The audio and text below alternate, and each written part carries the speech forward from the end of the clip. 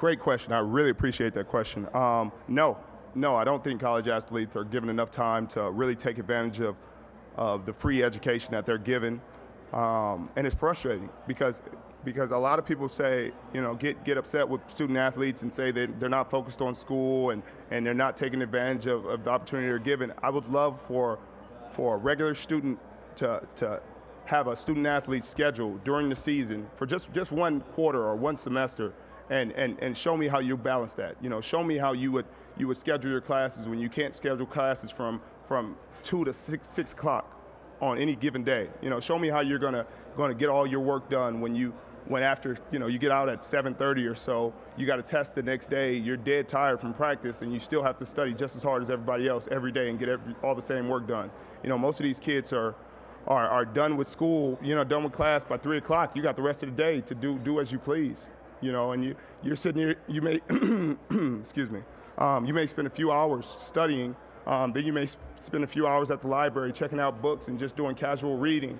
Then you may go hang out with friends and have a coffee. And when you're a student athlete, you don't have that kind of time. You wake up in the morning, you have weights at this time. Then after weights, you go to class. And after class, you go, you go maybe try to grab you a quick bite to eat. Then after you get your quick bite to eat, you go straight to meetings. And after meetings, you got practice. And after practice, you got to try to get all the work done you, you had throughout the day. You got from your, from your lectures and, and, and from your focus groups. Um, and those aren't the things that people focus on when talking about student athletes. They they're they're upset when a student athlete says they need a little cash. Um, well, I can tell you from from experience, I had negative 40 bucks in my account, and usually my account was in a negative more times than it was in a positive. You know, you got to make decisions on whether you get gas for your car or whether you get the meal for the day. You know, what you got one of the two choices, um, and people think, oh, you you you're on scholarship. They pay for your room and board, they pay for your your education but to, to their knowledge, you're there to play football. You're not on scholarship for school. And it sounds crazy when a student athlete says that, but that's, that, those are the things coaches tell them every day. You're not on scholarship for, for, for school.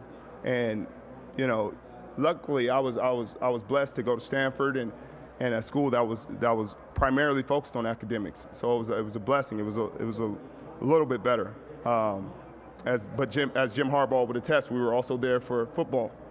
Um, but there were still guys like Andrew who, who majored in engineering. Um, incredibly tough role to take when you're when you're football because a lot of the classes conflict with with your time as a football player. You know, you you have an engineering class from two to three thirty. There's no way you can do both. You can't go to meetings and take your engineering class from two to three thirty. So what do you do?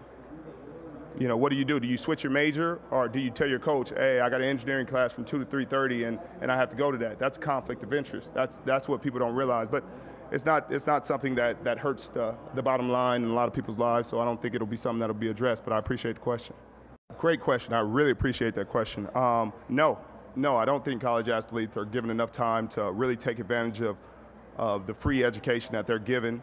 Um, and it's frustrating because because a lot of people say, you know, get, get upset with student athletes and say that they're not focused on school and, and they're not taking advantage of, of the opportunity they're given. I would love for, for a regular student to, to have a student athlete schedule during the season for just, just one quarter or one semester and, and, and show me how you balance that. You know, show me how you would, you would schedule your classes when you can't schedule classes from, from 2 to 6, 6 o'clock on any given day. You know, show me how you're gonna, gonna get all your work done when you, when after you know you get out at 7:30 or so, you got to test the next day. You're dead tired from practice, and you still have to study just as hard as everybody else every day and get every, all the same work done. You know, most of these kids are, are are done with school. You know, done with class by three o'clock. You got the rest of the day to do do as you please. You know, and you you're sitting here. You may excuse me. Um, you may spend a few hours studying. Um, then you may spend a few hours at the library checking out books and just doing casual reading. Then you may go hang out with friends and have a coffee. And when you're a student athlete, you don't have that kind of time. You wake up in the morning, you have weights at this time. Then after weights, you go to class. And after class, you go, you go maybe try to grab you a quick bite to eat. Then after you get your quick bite to eat, you go straight to meetings. And after meetings, you got practice. And after practice, you got to try to get all the work done you, you had throughout the day. You got from your from your lectures and, and, and from your focus groups. Um, and those aren't the things that people focus on when talking about student athletes. They they're they're upset when a student athlete says they need a little cash.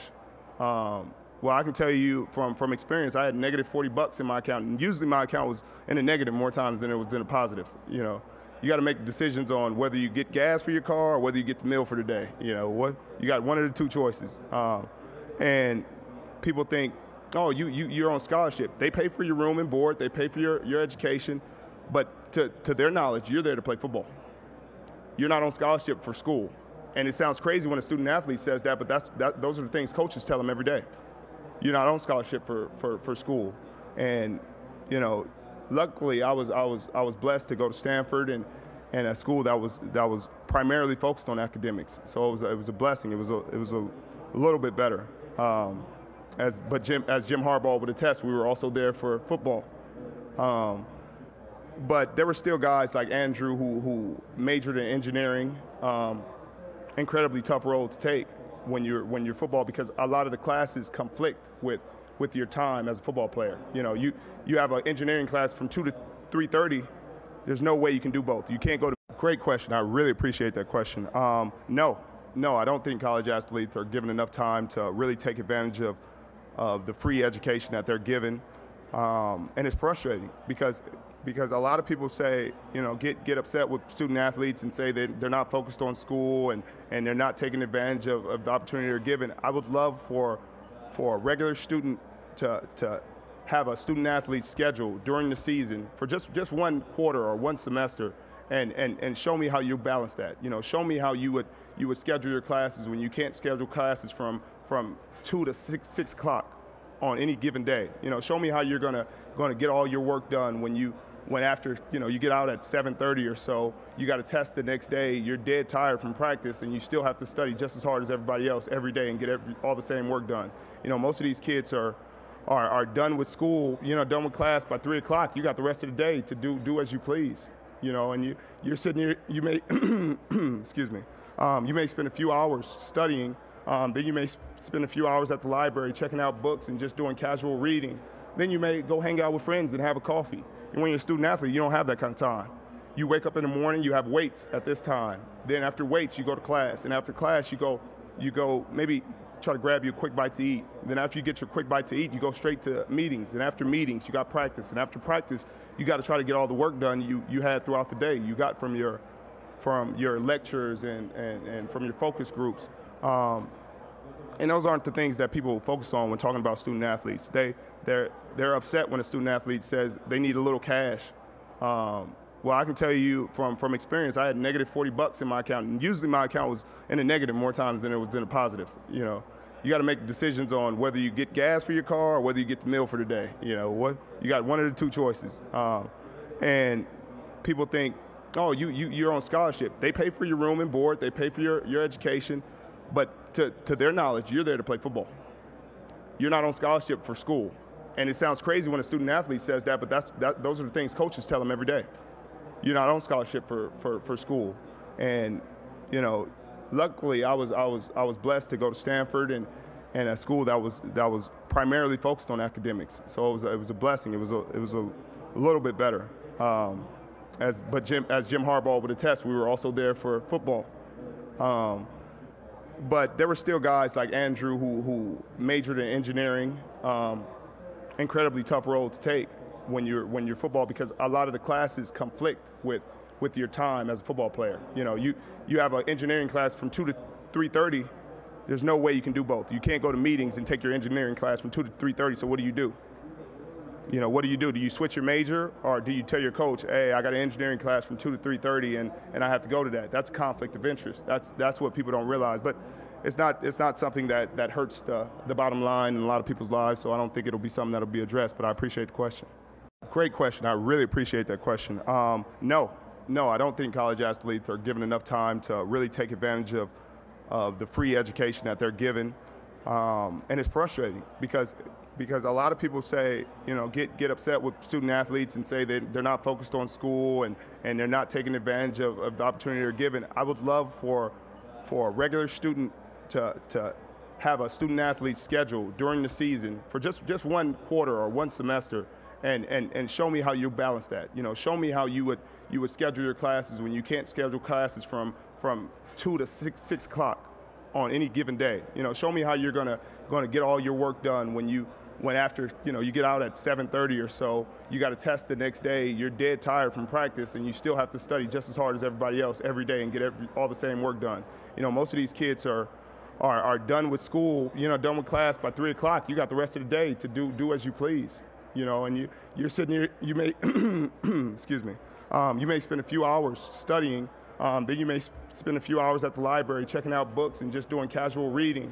Then you may go hang out with friends and have a coffee. And when you're a student athlete, you don't have that kind of time.